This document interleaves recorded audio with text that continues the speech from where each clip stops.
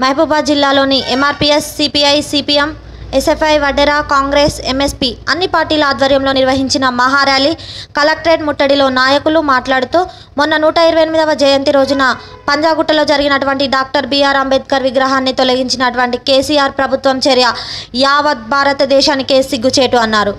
దానికి నిరసన వ్యక్తం చేసిన పార్టీల నేతలు తెలంగాణ జిహెచ్ఎంసీ వాళ్ళు ఆ రోజు చేసినటువంటి సిగ్గుమాలిన పనికి యావత్ దేశానికి క్షమాపణ చెప్పాలని వెంటనే తొలగించిన భారత రాజ్యాంగ నిర్మాత డాక్టర్ బిఆర్ అంబేద్కర్ విగ్రహాన్ని ఏర్పాటు చేయాలని ఏర్పాటు చేసే అంతవరకు మా నిరసనలు ధర్నాలు అవసరమైతే అంబేద్కర్ గారి కోసం ప్రాణత్యాగాలు చేయడానికైనా వెనుకాడమని చెప్పారు. ర్యాలీలో ప్రజలకు పోలీసులకు మధ్య తోపులాట జరిగింది. ఈ కార్యక్రమంలో Guggila Peeraiah D Kanakaiah B Ajay Sarathi T Sridhar N Shravan K Renuka Bhikshapathi ప్రజలు పార్టీల నేతలు పాల్గొన్నారు. హైదరాబాద్ పంజాగుట్టలోని సర్కిల్లో ఉన్నటువంటి అంబేద్కర్ విగ్రహాన్ని సిహెచ్ఎంసీ నాయకులు మహబూబాద్ ప్రాంతంలో అన్ని ప్రజా సంఘాల ఆధ్వర్యంలో మేము శాంతియుతంగా ర్యాలీ చేస్తూ ఉంటే పోలీసులు మధ్యలో అరెస్ట్ చేసి మమ్మల్ని తీవ్ర ఇబ్బందులు పెడుతున్నారు.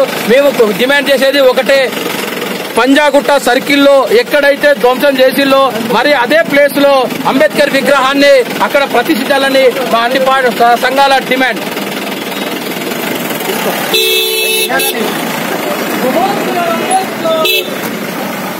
మేము అడుగుతున్నాం ఈ చిన్న అధికారులు కాదు. ఎవరైతే అక్కడి నుంచి విగ్రహం తీయమని చెప్పి ఆదేశాలు ఇచ్చిందో వాళ్ళ మీద చర్యలు తీసుకోవాలని కోరుతా ఉన్నాం. అంతేకాకుండా ఎవరైతే ఇప్పుడు ఎక్కడ విగ్రహం పెట్టాలో అక్కడే ఉండాలి ఆ అధికారాన్ని సస్పెండ్ చేయాలి.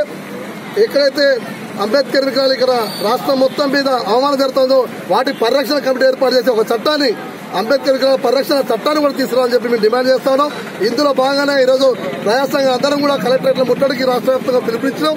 దానిలో భాగంగా మానకొండ జిల్లా కేంద్రంలో కూడా అన్ని ప్రజాసంఘాలు పార్టీల కలిసి వచ్చే సంఘాలు అందరూ కలుపుకొని ఈరోజు ఈ యొక్క నిరసన కార్యక్రమం చేపడుతున్నాం కేసీఆర్ ఇప్పటికైనా సోయి తెచ్చుకో నువ్వు గతంలో ఇచ్చిన హామీలు నెరవేర్చకపోగా మేము అడగట్లేం నీ నూట కానీ అవమానం జరిగిన కనీసం ఈ రోజు ఆర్టికల్ త్రీ ప్రకారం వచ్చినటువంటి తెలంగాణ రాష్ట్రంలో కుర్చీ చేసుకుని కూర్చొని పాలిస్తున్న కేసీఆర్ ఈ రోజు కనీసం స్పందించకపోవడం సిగ్గుమాల చర్య భావిస్తున్నాం ఎటువంటి అర్హత నీకు? ఈ యొక్క ముఖ్యమంత్రి సీటు లేదని చెప్పి ఈ సందర్భంగా తెలియజేసుకుంటూ ఓ ఎస్సీ ఎస్టీ ఎమ్మెల్యేలారా ఎంపీలారా మీకేమాత్రం చీము నెత్తురు ఉన్నా ఈ రోజు వరకు కే- ఈ రోజు వరకు అంబేద్కర్ జరిగిన బట్టి అవమానాన్ని ఎందుకు ఖండించలేరు చెప్పాల్సిన బాధ్యత ఉందని చెప్పి సమాజానికి మేము డిమాండ్ చేస్తూ భవిష్యత్తులో తీసుకునే నిర్ణయాలు ఈ ప్రాంత ప్రజల ఆత్మగారితో కూడిన నిర్ణయాలు రేపు కేసీఆర్ కుర్చీ కళ్ళ వరకు నడుస్తాయని చెప్పి ఈ సందర్భంగా మానవాలను హెచ్చరిస్తున్నాం.